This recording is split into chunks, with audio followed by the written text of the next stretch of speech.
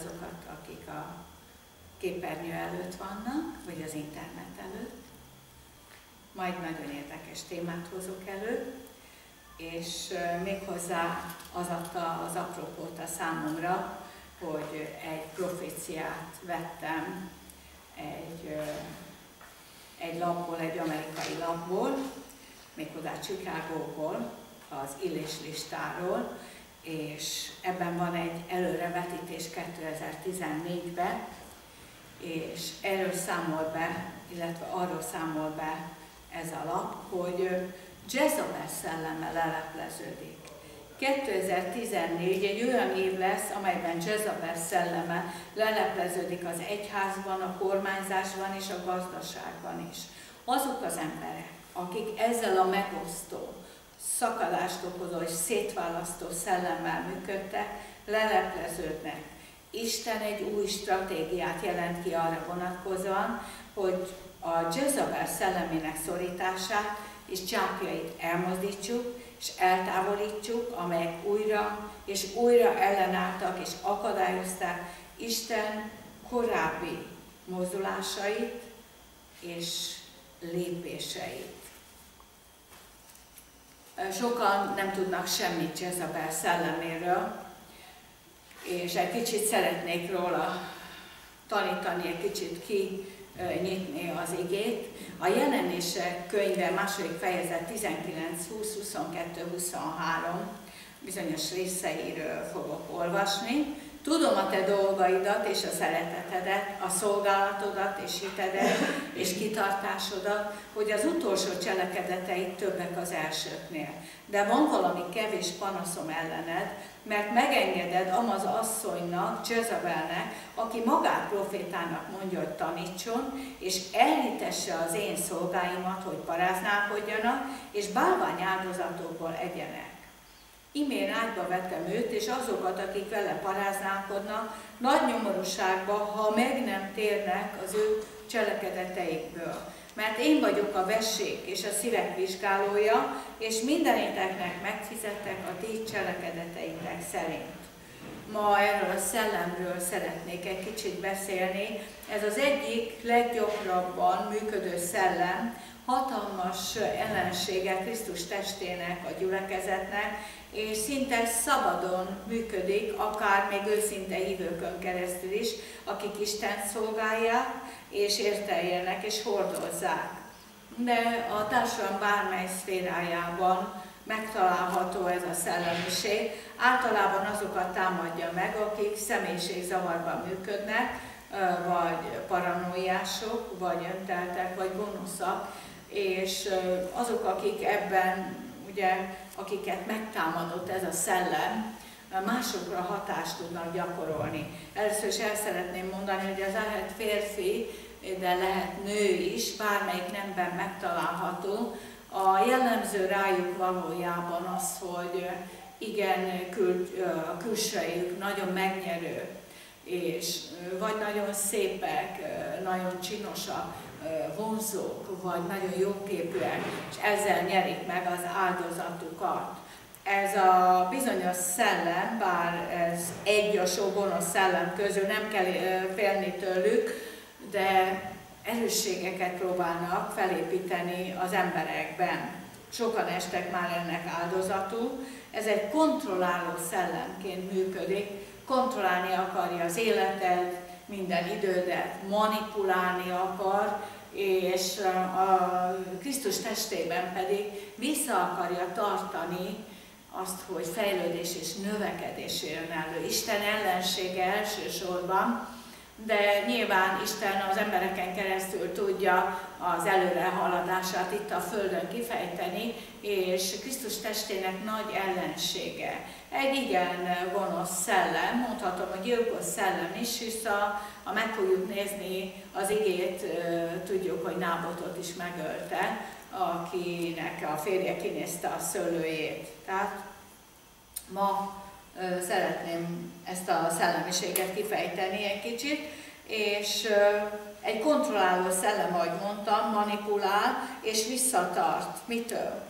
a békességtől, a boldogságtól, az evangélium hirdetésétől, ahol felüti a fejét, és ő kontrollál, káosz, zűzavar, összetört kapcsolatok jellemzi. Ha bárki közelebbi kapcsolatba kerül Jezebel szellemével, tapasztalni fogja az uralkodását, tapasztalni fogja a manipulálását, és legtöbbször a közvetlen kapcsolatot arra használja fel, hogy hatalmat és uralmat vegyen rajtuk. Sok ember, aki Jezebel kontrollál, igaz szívű, és vágy van akár a szívükbe, hogy szolgálják az Urat. Ennek a szellemnek az első áldozata, aki ismert volt, Jezabel hercegnő, aki Isten ellenségévé vált, és Bál oltáránál tartott vallásos gyakorlatot, valójában testet imádta. Ha megnézzünk, egy pillantást vetünk a Szentírásba, Szentírásra, akkor megvizsgáljuk Jezabelnek a megnyilvánulásait, egy hercegnő. Ahab Izrael királyával kötött házassága egy politikai megállapodás volt, és összeházasodtak. Ugye, amikor Ahab elvette Jezabelt, egy Izrael királya, aki az Egyistent imád, kell, hogy imádja, Jezabel hercegnő olyan nyomást és hatást gyakorol a férjére, hogy elkezdi Izrael királya imádni Bált, és tudnotok kell, hogy Bál a nap és a hold imádatában működött, nem Isten imádatában, ráveszi a férjét, hogy Isten imádatát hagyja abba, és Szamáriába bálvány áldozatot hoz elő Izrael királya, és áldoz Bálnak. Tehát Jezabel felállítja a bálványimádást és a prostitúciót a templomokba. Amikor beházasodik ebbe a házasságba, Izraelbe, Jezabel hercegnő, egy politikai, a politikai protokoll miatt Izraeltől szertartásosan megkövetelik, hogy tartsák tiszteletben a hák feleségét és az ő vallási meggyőződését, ami napjainkban is délik, akár Dél-Afrikában, mert befogadják ezt a szellemiséget. Valójában ez boszorkányságot is jelent, és befogadni egy más Istent szellemi bálványimádás szintjén, ez nem hoz jót. És politikailag elfogadják ezt a szellemiséget. Bál a háttérben lévő gonosz erők irányítsák, és és lázadást tud előidézni az emberek életében. Ez a szellem nem halt ki, ez napjainkban is működik valójában. A modernkori Jezabel áldozatai valójában meg vannak győződve arról, sokszor nem is tudják, akik ennek a szellemnek áldozatul esnek, hogy ők milyen áldozatok és hogy ennek a gonosz szellemnek az áldozatai azt gondolják, hogy ők az egyik az Isten szolgálják. Valójában rejtve van ez a szellemiség, és a háttérben egy önimádat működik, vagyis az illető imádja önmagát. A Jezabel küldetésének a célja, hogy megölje a profétákat, hogy ezt meg is tette korszakokon keresztül. Tudnatok kell, hogy miatt válnak az emberek türelmetlenné, nem hajlandók kivárni Isten időzítését. Ez a démoni erő amely megkérdőjelezi akár Isten embereinek a képességét, a vezetését, lázadást okoz, és nagyon kemény dolgokat tud létrehozni. A Bál kultusz hívei minden évben megünneplik a halálát és a feltámadását ennek a démonikus erőnek. Tudnotok kell, hogy kegyetlen fegyverei vannak. Akár, mint egy bika öklenése, szóbeli kegyetlenség, szóbeli megfélemlítés, és lelki kínzás is lehet ennek a démonikus hatásnak az ereje rám nézve. Aki ezzel rendelkezik, ezzel a hatással, ahogy hangsúlyoztam, néha nem is tudja, hogy ő ennek az áldozata és kontrollálni, manipulálni akarja a környezetét, és akit kinéz áldozatul, az komoly terror alá veszi. Ez Jezabel gyümölcsei nek sokszor a gyengesség, a vallásos szellemek, szegénység, Jezabel zavart, szűrzavart, félelmet kelt, kételkedést tud az életekbe, a körülményekbe. Együttműködik egy Pitor nevű szellemmel még ráadásul, amely olyan, olyan érzést okoz az emberekbe, mint ha az életét és a lélegzetét is kipréselnék belőle. Megcélozza a kenetet, úgyhogy néha még szolgálat közben is szédülés és zavartság támadását tapasztalják az emberek az életükben. Irányít, manipulál, megfélemlítést uh, okoz. Tudnatok kell, hogy uh, Illést is, ugye Illést megbízza Isten, hogy Bál profétáit ölje meg. Kármán hegyén tüzet hoz le, 450 profétát, Illés proféta, Bál profétáját megöl.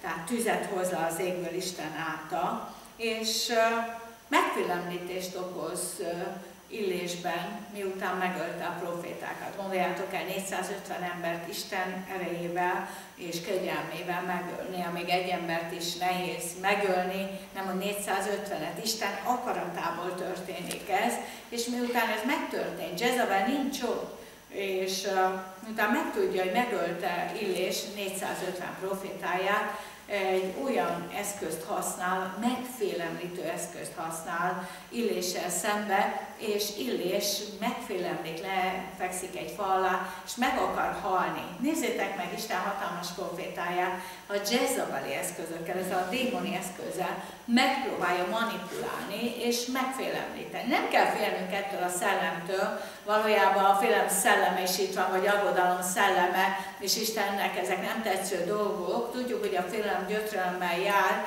és néhány ember a félelemben is már ugye bele tud halni, vagy infarktust tud kapni. Tehát ö, vigyáznunk kell, hogy mit engedünk be az életünkbe. Tehát Illés megfélemlik, és uh, meg akar halni, megijeszti ez az asszony. Előtte pedig hatalmas hősleteket visz véghez. Hát vigyáznunk kell, ha egymással szembe helyezzük Illés és Jezabel nevét, akkor a neveknek megfelelő istenségeket helyezünk szembe egymással, mivel Illés nevének a jelentése Jahve, az én Istenem. Jezabel nevének jelentése pedig Bál vagy Bél, azaz herceg vagy fejedelemség. Tehát fejedelemség, egy hercegség, hercegnő volt, és egy fejedelemséggel volt ez a nő teljesen megbabonázva, vagy átitatva, és ennek a hatása és nyomása alatt állt ez a királynő vagy hercegnő képes volt a gyilkosságra is, ez egy szellemiség. Nem kell félnünk tőle, de tudnod kell, hogy ha ott van az életed körül és felfedezed ezeket a jellemvonásokat, a megtévesztés által is tud működni, és vigyázni kell, mert uh, hatással lehet rád és az életedre. Illés, ugye Illés Istentől van, ez a szellem gyűlöli a profétákat, különösen proféta előfutásságát, ami azért van, hogy előjárjon és Isten népét az ő céljai felé fordítsa. Valójában a profétai palás jelölik ki az utat, és azt mondja, járjatok ezen. Ez az ő szava, engedelmeskedjetek neki. A profétai kenettel együtt jár a megtérés. A proféta felismeri, hogy szükség van a megtérésre. Illésnek nagyon rossz érzései támadtak Jezebel fenyegetése után. Úgyhogy mit élt át Illés? Félelmet, pánikot, önsajnálatot, reménytelenséget, félrevezettséget, szűrzavart, bátortalanságot. Tehát ez a szellem megtévesztés által működik, ami eltorzítja a gondolkodásmódodat. Megfélemlíti a profétát, az imaharcosokat, akár a gyülekezetbe is beférkőzik, és aztán a gyülekezet együtt működik Jezabel szellemével. Ez a szellem nagy szakértője annak, hogyan kell egy gyülekezetet felbomlasztani. Hát ö, oda kell figyelnünk, és ezt nem szabad eltűrni, ő manipulál, manipulálással fejti ki a hatását. Ahogy mondtam, Jezabel küldetésének a célja, hogy a profétai szolgálatokat, a profétikus szolgálatokat és a közeljáró imaharcosoknak megdöntse a szolgálatát, az életét, és megölje akár, mert neki ez sem probléma, a manipulálásával, a kontrollálásával és a gonosz terveivel és céljaival. Valójában a célja a hatalom megszerzése, a dicsőség, a kontroll, az elismerés megszervezés, megszerzése, más szóval az emberek dicsérete. Arra vágyakozik folyton, hogy saját magát magasztalja fel. Másodlagos célja pedig az, hogy elgyengítse az embereket, megfossza őket a szabad akaratuktól, a szellemi tekintélytől, az erejüktől, a hatalmuktól, amit esetleg másokkal szembe kellene, hogy tegyenek. Bizalmatlanságot és gyűlöletet kelt az emberekkel szembe, és vágy van a szívébe, aki nem engedelmeskedik neki. Minden áron bosszút akar ö, állni. Nagyon agresszív és határozott, tudja, hogy mit akar. Kontrolláló, önimádó, hatalomra vágyó, és egy hitető és gonosz szellem. Hangsúlyozom, néha az illető sem tudja, hogy ennek ő részese. Mert úgy érzi, hogy ez ő maga, ő ilyen valójában. Ezek a legjobb oldalai, most amit mondtam. Ez a szellem, a sátán szelleme. Jezebel ezt csábítsa a férjét, Ahábot, hogy kövesse Bált, és Aháb erre hajlik, Isten akarata ellenére és Szamáriában, ahogy mondtam, bálványszobrot állít fel. És ott áldoz Bál istenének, Izrael királya. Micsoda befolyással bír ez a szellem? Meg tudja támadni még a nagy hitembereket is, ugye? A Jezabel nevének jelentése lakóhely nélküli önimádó. Önmagát imádja ez az ember, vagy asszony. Jezabel a gyülekezetekben is kontrollálni és uralkodni vágyik Isten népén. Ha nem vagy a döntés embere, akkor Jezebel szellemének a varázsa, illetve hatása alá kerülsz a megfélemlítései által. Ez komoly, a megfélemlítései által. Tehát, ahogy mondtam, gyűlöli a profétákat és minden profétikus szolgálatot, a megtérést és az alázatosságot, és a közben járó imát. Miért? Mert ezek döntik meg a makadságának és a büszkeségének az erősségeit. Minden esetben legtöbbször a megfélemlítést alkalmazza azok felé, akiket sanyargatni kíván. Hogy az elméjét az illetőnek befelhősítse. Hogy a félelem szellemmel lengje őt körül. Gyakran szerez befolyást a gyülekezetekben, és ha valaki nem működik együtt az ő cselekedeteivel, annak következményei lesznek, arra számíthat rá. A megfélemlítés mindig azt keresi, hogy az áldozatát a fenyegetés felé hajszolja. Ez is ez fog történni, ha nem hajolsz meg nekem, ha nem teszed ezt meg. Az áldozatát valójában kontroll alá helyezi, és elvesz tőle valamit, ami számára becses. És ez zsarolás, és az ellentmond Isten szeretetének. Jezebel embereket használ tárgyként, hogy a szükségeit betöltse, és kontrollt végezzen felette. Aki ellen fordul, hogy befolyást és hatalmat nyerjen. Ha megszerezte a kontrollt, és az illető a hatása alá kerül, uralkodik felette. Ha az illető a családban van, érzelmileg hat rá. Jezabel igen haragos, erőszakos, rossz indulatot mutat, ha nem engedelmeskednek neki és az ellen fordul, ugye, aki engedetlen az irányába, másrészt, akit kinézett magának, harmadrészt, akit meg már a múltban tudott manipulálni. Az érzelmi roncsolás pusztító lehet abban az otthonban, és abban a környezetben, ahol Jezebel küldi a támadásait. Forrása lehet a nagy lelki sebeknek. Igen, nagy lelki sebeket, tud okozni, különösen a manipulációja és a kontrollja. Kontroll alá veszi az illetőt, a szolgálatát, a perceit, az előrehaladását és minden. Amikor neki ellen mondana, Jezebel kész a harcra. Egy hadakozó szellem, aki harcra kész. Vigyázz, ha bizonytalan vagy, az nem jó, legyél óvatos, nagyon szeret a bizonytalanság szférájában működni. És azokat gyűlöli a legjobban, akiket kontrollál. Ne feledd el, hogy az ő küldetése, hogy kiket akar pusztítani. Profétikus szolgálatok, közben járó imások, és a, az áldozatát önpusztulásba akarja akár kergetni. Megölni, a hitét, a szeretetét, és egyáltalán akár odáig is elmegy, hogy öngyilkos legyen az illető. Az áldozatait, akinek kontroll alá vette az életét, igen, nagyon jól akarja kontrollálni. Megfélemlítés, befolyás által és kontrollálás által, és visszatartani Istennek a országának a fejlődését és építését. Jezabel egy versengő, gyűlöli a tekintét, és azokat is, akik a hatalma lettek helyezve.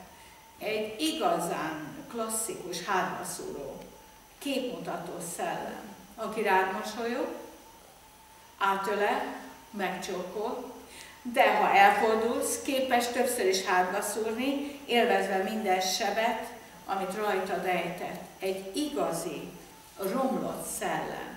Igazán.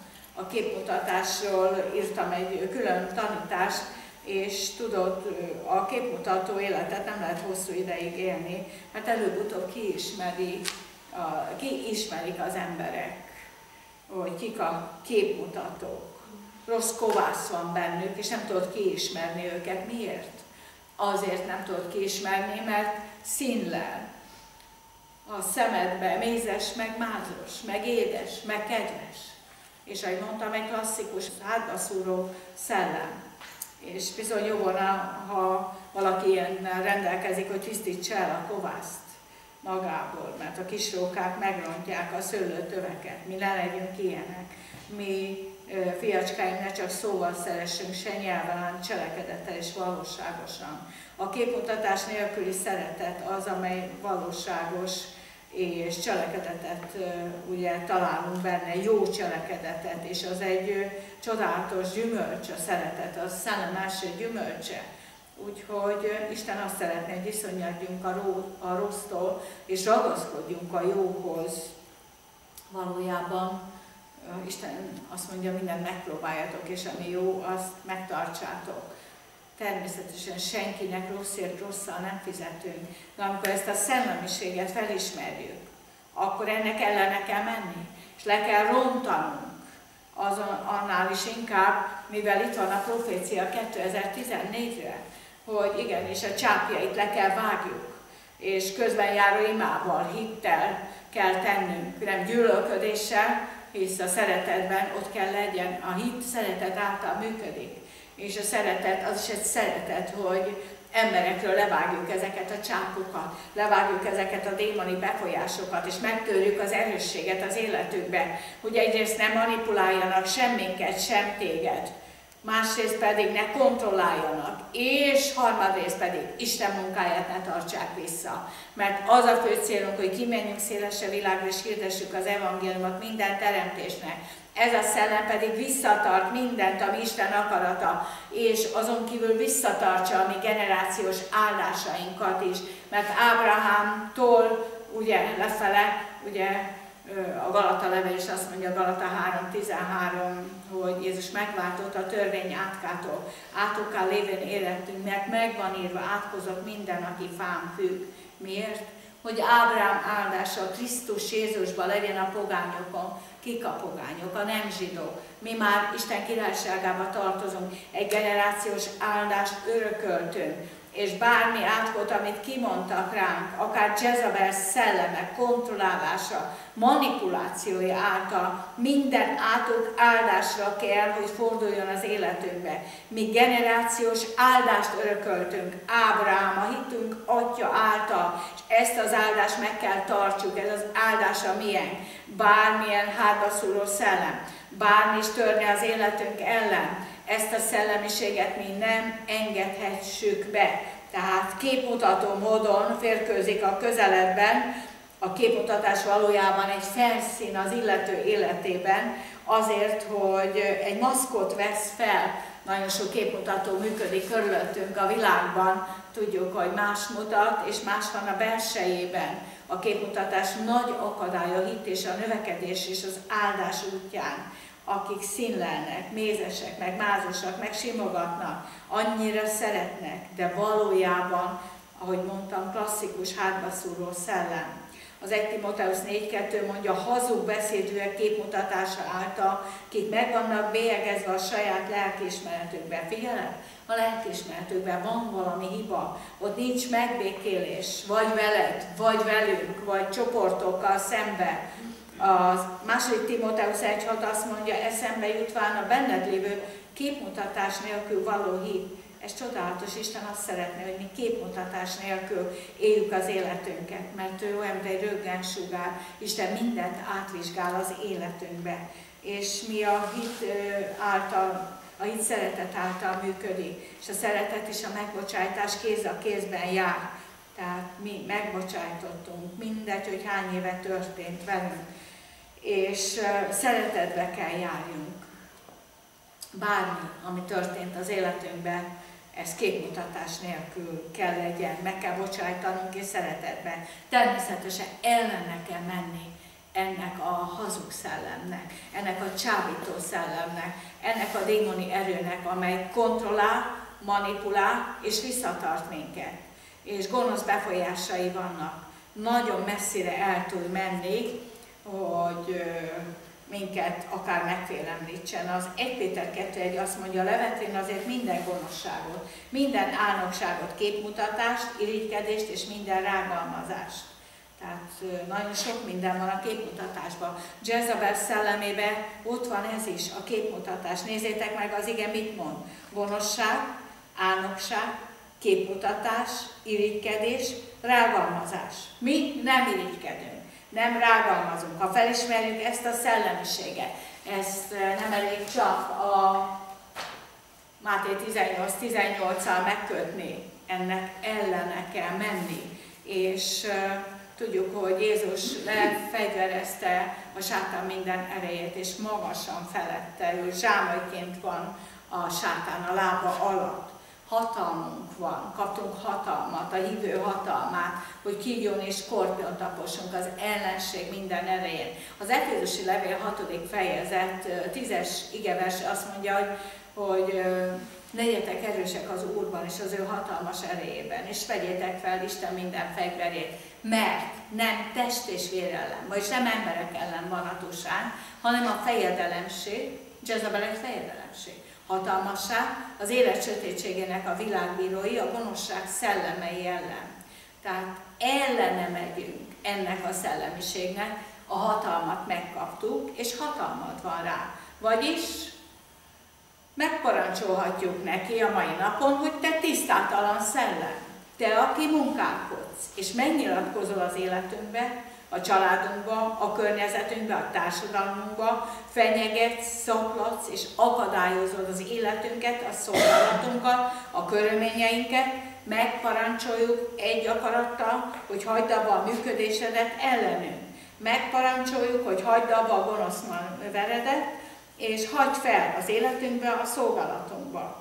A gonosz minden munkáját leállítjuk azzal a hatalommal, amelyet kaptunk Krisztus Jézusba és neked ki kell jelenteni, hogy Jezabel nem türöm meg az életemben, hogy paráználkodj, minden magaslatodat lerontok, minden bálványimádásodat, és megtiltom, hogy a családom, az életem, a szolgálatomban végez manipulálást, megfélemlítést a Jézus nevében.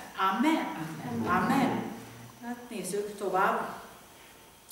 Jezabel, ahogy mondtam, egy képmutató szellem. A kontroll és a manipuláció. Nyilván ti is tudjátok, mi az, hogy kontroll. Amikor mindenben lekontrollál, hogy mit teszel, mit csinálsz.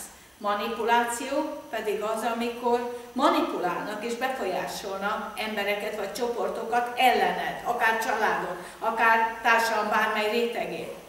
A bozorkányság szellemei különösen veszélyesek. Mert mindent, amit tesz, azt nem az Úrban teszi, nem az Úr akaratában manipulál, és az csak Isten tudja, hogy miket imádkozik, ezt inkább átoknak lehetne nevezni felhasználja egy vagy mindkét szellemét, hisz ez a legfontosabb az ő számára, kontroll és manipuláció. Kontrollálhat különböző személyeken keresztül, kontrollálhat szellembe, és manipulálhatja az illetőt csoportok által, befolyása alá viszi. A legjobb a kontrollálásban. Persze addig nem tud kontrollálni, amíg el nem csábít hizelkedéssel, vagy csábító könnyekkel akár. Olyan tanítványokat keres, akik taníthatók, kontrollálhatók és csábíthatók. Jezebel szelleme szeret szellemi gyerekeket szülni magának, és olyan tanítványokat keres, akik ő belőle táplálkoznak. Tehát ha valaki egy hatalomban működik, akkor arra számíthat, ha ő ennek a szellemnek a birtoka, tehát birtokában van, vagyis ez a szellem uralja az illetőt, akkor lesznek neki olyan szellemi gyerekei, tanítványai, akik hasonlóképpen fognak működni ebben a nem Isten akaratában működő szellemmel. Azokat keresi, akik gyengék, és mély sebeket hordoznak magukba. Mély lelki sebeket, akiket kontrollál. Az Úr vágya és szándék az, hogy a legsötétebb sarkokat is elérje, és felfedje azokat az embercsoportokat, akik önmaguktól nem tudnak kijönni ezekből a nehézségekből. Istennek gondja van ezekre az emberekre is.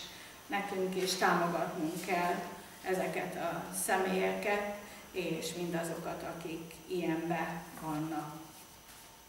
Hát visszatérve Jezabelre, a megfélemlítés, a fenyegetés és az uralkodás nagy fegyvere. Ellenőrzést tartani.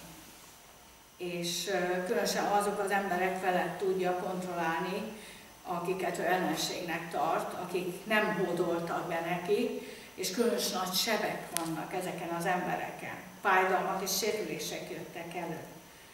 Tehát féltékenység is van az ő életében. Nábotot azért ölte meg, mert ugye Nábotnak volt egy gyönyörű szőlője, amit a férje kinézett. A férje meg akarta persze pénzért venni, de a zsidóknál van egy törvény, a harmadik Mózes 25-23-ban, hogy a földet senki el nem adhatja örökre, mert ennyi a föld, mondja az Úr, csak jövevények és zselérek vagytok ti nálam. Tehát ez a föld először a törzsé lett, majd Isten generációs áldásaként, ugye Nábot részé, Nábotnak a részét képezte. És Jezabel el akarta lopni ezt a generációs áldást, az örökséget. Valójában ennek a szellemnek az a célja, hogy pusztítson, hogy ártson, hogy ellopja a mi generációs áldásainkat, amit mi örököltünk, hogy kiraboljon minket lelkileg, érzelmileg a szolgálatból, a boldogságból, a békességünkből, egyáltalán az emberi mi voltunkból és a hitünkből, a megfélemlítései, a manipulálása és a gonosz tervei által. És tudjuk, hogy hamis tanukat hozott elő Nápot ellen, és Námot a nép ültetett két embert, akik Béliá fiai voltak, szintén az ő emberei, és így egy szemeszetett hazugságba megölik Nábotot, és így a HB lesz a szőlő, illetve az a föld, amit nem akart odaadni, ez az Istenfélő zsidó ember, mert Isten alkalmazta. Hát látjuk, hogy milyen szellemiség ez a Jezebeli szellemiség. Manipulál, kontrollál, ítél, akár pusztít, és nagyon erőszakos. És tudjuk, hogy Illést is úgy megfenyegeti végül, hogy Illés elmenekül. Tehát nagyon büszke, a büszkeség a fő gyökere minden bűnnek, és nyitott ajtónak, ami által az ellenség le tud uralni. Önző ambíciói vannak, felsőbb rendőrségre tör, és azt akarja, hogy felmagasztalják. Tehát nekünk pedig az Efézus 4.27 szerint az ördögnek nem szabad helyt adni. Ha felismerünk magunkba bármi, valami hasonlót, aminek megnyíltunk, Ennek ellen kell állni. Minden nap oda kell ajánlani a testünket élő, szent és Istennek kedves áldozatul, és ezeket nem gyakorolni, és nem manipulálunk senkit, és nem kontrollálunk, mert ez nem Istennek a gyümölcsei. Isten gyümölcsei a szeretet, öröm, békesség, béketűrés, szívesség, jóság, hűség, szelítség, mértékletesség. Ezek ellen nincs törvény. Tehát szereti maga hajtani az embereket, és eltávolítani az áldozatát az igazságtól. Nagyon jól tud munkálkodni az összezavartságban, keresi a gyengéket. Szakértője annak, hogy, hogy megfélemlítsen. Nagyon komolyan tud megfélemlíteni és manipulálni. Mi lesz, ha az imát, amit én nem igazán imának neveznék, mert az nem ima, amikor valakit megfélemlítésre használunk vagy kontrollálunk, bár hangosan imádkozik, de valójában megfélemlítést használja a félelem által az illető belsejében, és ezzel manipulál. Jezabel hamis látásokban is tud működni. És mondhatom ezt a szellemiséget, nem Isten szellemétől vette, nem a Szent Szellemtől. A tudás, ismeret beszédét akarja szólni, de valójában nem attól beszél. A boszorkányság mindig a sátántól jön. Minden manipuláció, kontroll többet és többet árul el a sátánnak, és erősíti a hitetést, ami Jezabel szelleme. Ha Jezabel és az áldozata közé áll valaki, meg fogja gonoszul támadni. És a hírnevedet is megpróbálja alásni hamis vádakkal, és az igazi küldetése a pusztítás. Minden elérhető eszköz segítségével. Alássa a hiteledet, ha szolgáló vagy, akkor el fogja hitetni, hogy hamis tanító vagy, hogy ne olvassák a könyveidet, a kazettáidat, a CD-idet ne. Ez a szellemiség nagyon könnyen megsértődik, és gyakran reagál nagy haraggal. Az uralkodással, ahol megjelenik, mindig szakadással párosul, mert kontroll és manipulálás van az életében. Hízelgés, önsajnálat, célzás valamire, és szükségét érzik, hogy hatalmat szerezzenek, és mindig az ő igazságukat mutassák meg. Ennek érdekében bármit is megtesznek, ők azok, akik mindenkinek többet tudnak, leuralnak minden beszélgetést, ő, övé a, a fókusz, és te nem juthatsz sehova. Fontos megérteni, hogy akik hordozzák ezt a szellemet és szembesíted vele őket, egyszerűen nem fog ezzel szembenézni, össze akar zavarni téged, nem is fog válaszolni. Mestere a kritikának, az zúgolódásnak és a panasznak. És akik ennek ellenállnak, készül fel, szidalmazva, átkozva leszel, és hogy bűnhődjél, mert te nem vetetted magad alá. Haragot és rossz indulatot fogsz ez miatt megélni az életedben. Gyűlöli a megtérést és az alázatosságot. A kritizálást használja, és a zúgolódást. Zúgolódással és panasszal és befolyással. Csoportokat gyűjt maga köré, és XY-t fogja kivesézni, és azt fogja mondani, hogy ilyen és ilyen X és Y. És ezzel meggyengíti az illetőt, mert csoportokat von maga köré. Kiszámít az ő ellenfelének, aki nem hajol meg neki, aki nem válik az áldozatává, azon erőt vesz, és el akarja pusztítani az életét, a körülményeit, a családját és a szolgálatát. Amikor Jezabel szellemét szembeállítják az igazságban, akkor ellenségként fogja az illetőt kezelni, és támadást fog ellene intézni. Soha nem találkozol olyan emberrel, aki hordozza Jezabel szellemét, és belátná hibáit. Mindig más a hibás. És mindig az ő akaratának kell meglennie.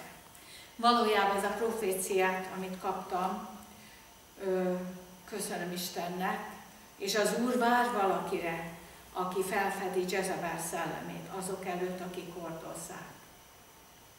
Nem kell félni ettől.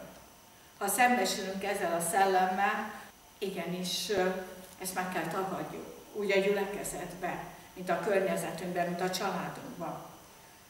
De tudnod kell, hogyha most ezt zársz szembenézel, és fogod az illetőt szembesíteni, akkor számíts rá akár, hogy gonosz néven fognak szólítani. És talán a gyűlölettel fog szembenézni. És olyan emberek, akik eddig szerettek és hálásak voltak, rossz emberé fognak téged faragni. Jezebel hordozói talán még ennyit végül, hogy egy kis időre bűnbánatra indulnak, aztán barátságosak lesznek egy darabig vele, és úgy néz ki, hogy talán a te oldaladon vannak. De egy kis idő után újra visszatér a kontroll, a manipuláció és a visszatartás. Mert amikor újra az ő imája szerint fog imádkozni, akkor úgyis az fog történni, amit ő akar. Úgyhogy ne engedd, hogy ez a szellem becsapjon. Arra van szakosodva, hogy játszon az érzésekkel, hogy az ő oldalán legyél, okosan gyűjti maga köré az embereket, hogy akár sajnáltassa magát, ahogy Ahab szelleméről, úgy Jezebel szelleméről is köztudott, hogy használja hatalmát. Az igaz közben járói ima a büszke szívét meg tudja változtatni, és megtérést és alázatot tud hozni az ő számára. Úgyhogy köszönöm Istennek ezt a proféciát, amelyet január 16-án adtak ki az illés listán, és hálát adok, hogy Isten üzent, és ebben a létfontosságú, ebben az időszakban, most 2014-ben, hogy a szellemtől, a Szent Szellemtől kapott életünket, és az örök életünk, amelyet kaptunk, ne sérüljön, és ne rombolódjon, akár ilyen szellemiségek által. Tehát neked fejlődni kell, és mindannyiunknak. És Isten királyságát építeni, fejleszteni és növelni. És harcolnod kell, és harcolnunk kell minden ellen, ami elrabolja a királyságához tartozó, Istennek a királyságához tartozó életünket, céltudatosságunkat, bátorságunkat, mert mi egy mély és maradandó munkát akarunk végezni, és használni kell azt a hatalmat, amelyet kaptál a Krisztus Jézusban, mert kaptunk hatalmat. A Lukás 10.19 szerint, hogy kígyunk és skorpiont apossunk. És az ellenség minden erején. És az ellenség egy fejedelemség, Jezabel szelleme. És a tisztátalan szellemnek jogunk van, a hatalom révén, amelyet kaptunk Krisztustól. Mert nincs a Szentírásban olyan, hogy Jézusnak kell tenni valamit, hogy az ellenséget legyőzze. Ő már legyőzte, és a győzelmet nekünk adta a hívőnek. Nekünk a hívő hatalmát kell gyakorolni. Nekünk a zászló, Jehova Nissi, az Úr győzelmi zászlója. Nekünk ezt a zászlót kell vinnünk az életünk hátralévő részében és Istennek kell élni, és adni az életünket, és ezeket a szellemiségeket, amelyek napjainkban is itt vannak, és kontrollálnak, és manipulálnak, ezeket, akik le vannak győzve, nekünk csak a hatalmunkat kell gyakorolni. És nem engedni. Nem Jezabel. Te nem vehetsz erőt a mi életünkben. Sem a családunkban, sem a nemzetünkben, sem a körülményeinkben. Mi többek vagyunk, mint győztesek. Te fejedelemség, meg van tiltva a számodra. Te nem vesz rajtunk hatalmat, te nem győzhetsz, mert Jézus legyőzött. Minden fejedelemséget, hatalmasságot az élet sötétségének a világbírói. Te fejedelemség, le vagy győzve, ezt ma kijelentjük. Nem, és nem Jezabel, nem adunk neked helyet az életünkben. És megtiltjuk, hogy a családunkban működj, te tisztátalan szellem. Nincs részed és nincs jogod az életünkben. A názáreti Jézus Krisztus szent nevébe nem kontrollálhatsz, nem manipulálhatsz, és nem lophatod mindazt, amit Isten adott. a generációs áldást, az elhívást az életünkbe. Az áldás örökösei vagyunk, és minden átkod áldásra kell forduljon az életünkbe, a szolgálatunkba, a názáreti Jézus Krisztus szent nevébe. Köszönjük, Uram, hogy többek vagyunk, mint győztesek. Ámen, ámen, ámen.